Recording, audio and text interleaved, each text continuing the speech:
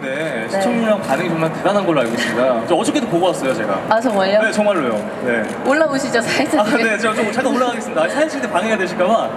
네. 네. 안녕하십니까. 네. 안녕하세요. 네. 아, 많은 분들도 궁금한 점도 많으실 것 같은데, 아, 진짜 드라마가 재밌더라고요. 아, 정말요? 어저께도 봤어요. 감사합니다. 본방을 또 시청했습니다. 저뿐만이 아니라 많은 분들이 또 본방 시청하셨을 걸로 예상이 되는데, 그럼 분들에게 소감 한 말씀 부탁드릴게요.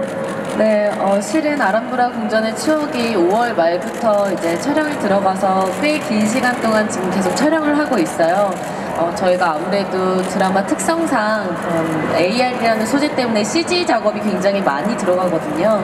그런데 어, 저 또한 어떻게 나올까 굉장히 걱정을 많이 했었는데 많은 분들께서 호기심과 관심을 가지고 봐주셔서 너무 감사해요. 앞으로도 더 흥미진진한 전개가 이어질 예정이니까 네, 저희 드라마 많이 사랑해주세요. 감사합니다. 자, 큰 박수 부탁드리겠습니다. 네.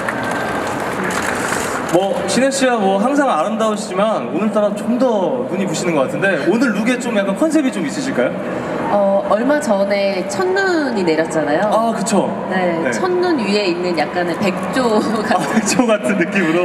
네, 그리고 네. 이제 반짝반짝 이어링으로 네, 포인트를 좀 줬습니다. 신혜 씨가 또 하시면 또 정말 이 아이템이 될 것만 같은데 여러분 보시고 너무 아름다우시면 저쪽에 또 저희 스와로브스키 매장이 있습니다. 어. 행사 기획을 정말 잘한 것 같아요. 바로 또 보시고 마음에 들면 살 수 있게.